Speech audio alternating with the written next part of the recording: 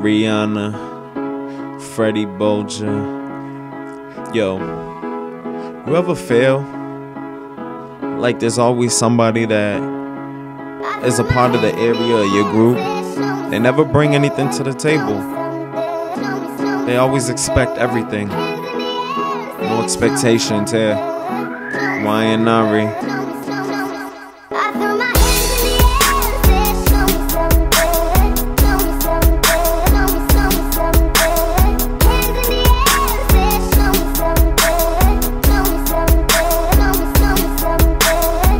I take my time, I get into it. Me, myself, and I is who I've been influenced with these tough circumstances. I'm not giving, I take chances. I take checks and credit cards too, but I do it for the love of hip hop, not for the deuce, not for the riches, and definitely not for the fame. I just wanna be heard in the game. I swallow all the pride and I spit the pain humble as a mofo.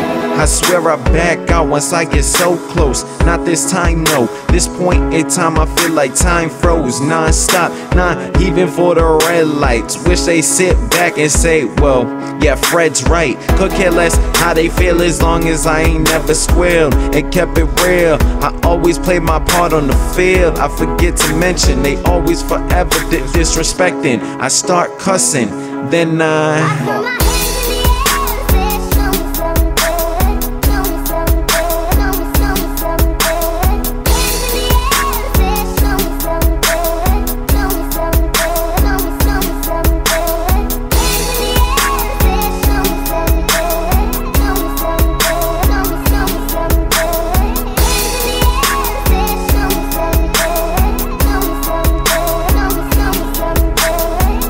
I'll be damned if they think that they can stop this. I never listen to nothing but my own conscience. Hit them with the one and two, on the ones and twos like boxing. Lately, I've been feeling like I'm boxed in. Shit, I'm about to break out. Be free spirited and pray quite often. If I talk to God, I know for sure He'll respond back. Real knowledge, straight facts.